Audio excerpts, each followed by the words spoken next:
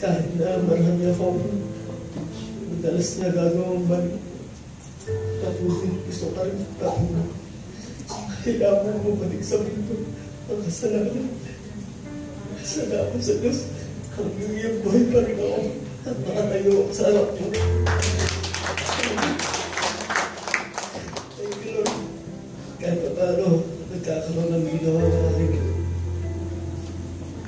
problema kahit pa paano sa tulong ni kapatid na meron ay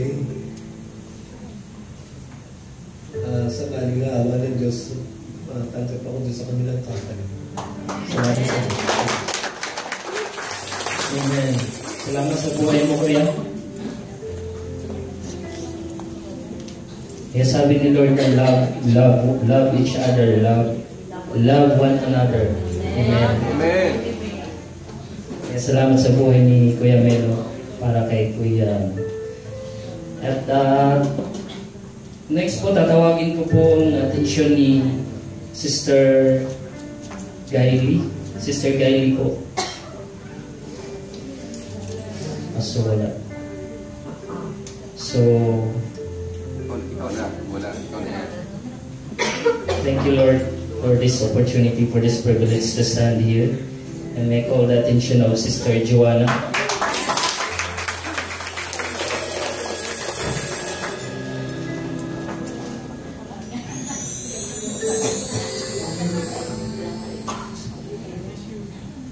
Amen. Blessed morning po mga kapatid. Nasarapan ako masyado. Hindi, walang iyak. um, ganito pa lang tumayo sa harapan pag nagte-testify. parang, parang bago-bago lang. Amen. Ganito pala ang mamamaala mo.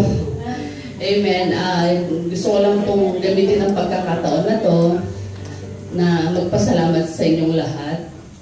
So, um,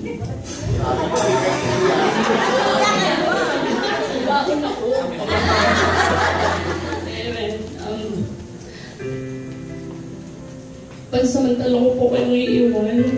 Hindi po ako mamalang forever. Huwag po kayo matuwa. Pansamantala lang po. Bali, I'll be leaving on Monday. That's on 29. Um, I'm going back to Philippines for good.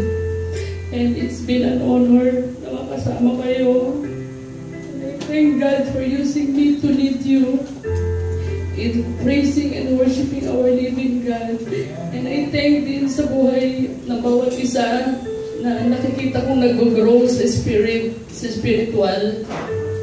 And um, gusto ko rin magpasala, gamitin ang pagkakataon na to, pasalamatan ang ating mga pastor. Hindi ako pastor, Ali, wala sila ngayon. Sa family niya, sa mga pastors, sa mga leaders, elders, sa mga ministry, sa ating directress, sa worship team na nagtyaga sa akin, sa practice namin, sa um, mga um, mga kaamba ko.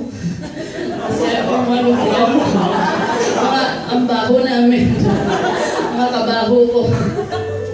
Even sa mga kaamba ko, sa mga kapatiran ko na um, nandyan, nag-support sa akin all the way sa aking spiritual, sa aking physical, sa emotional lalo.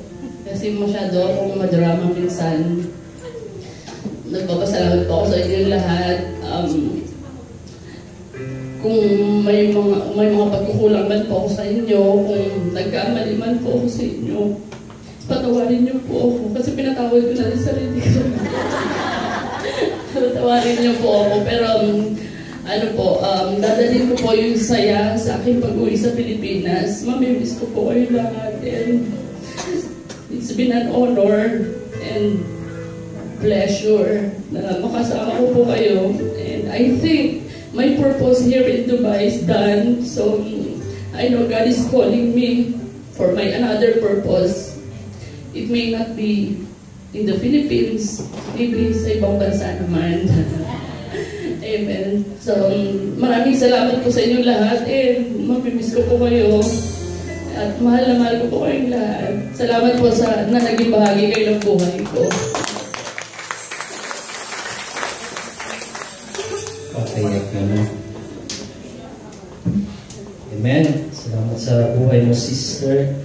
Ah, mamimiss ka rin po namin.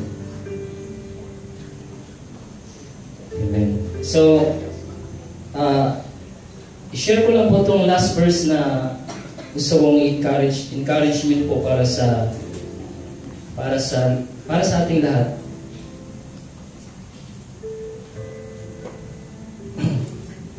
lahat po tayo ay makasalanan di po ba? Tama po. Tapos, tayong lahat kung mer meron man sa ating mga kapatid na makasalanan o gaano man kalaki yung kasalanan ng ating mga kapatid. Hindi lang bio- biological na kapatid po natin, kundi po pati sa ibang tao, mga kapatid na rin po natin natin yun kasi we are one uh, body in Christ kasi niligtas niya po tayong lahat sa cross ng kanyang pagkamatay. So babasahin ko lang po sa